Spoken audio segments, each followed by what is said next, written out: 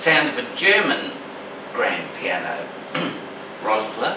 They made beautiful grands, lovely little upright pianos that went all over the world.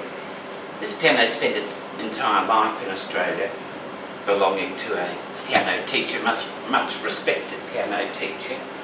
And so it had plenty of use, but we went through and we did everything that was needed to be done um, as far as the perishable parts of the piano goes.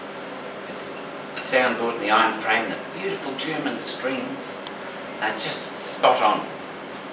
It's as clean and neat as it ever was inside and out. And it's a piano that I've uh, tuned now since it was new, which would be about 30 odd years. So we've really known each other. Hmm. So, a beautiful playable instrument. Uh, not the great prices of some of the uh, new Yamahas and things like that.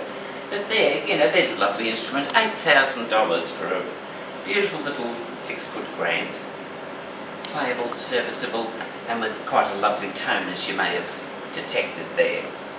So that's a Rosler Grand. It comes tuned and delivered with its own stool and guaranteed. So if someone's looking for a ready to go, trouble-free, nice little German grand piano this Rosler that we've been working on and just recently finished, uh, could just fit the bill. It's not big, it's neat and lovely and it's got lovely cabinet again too.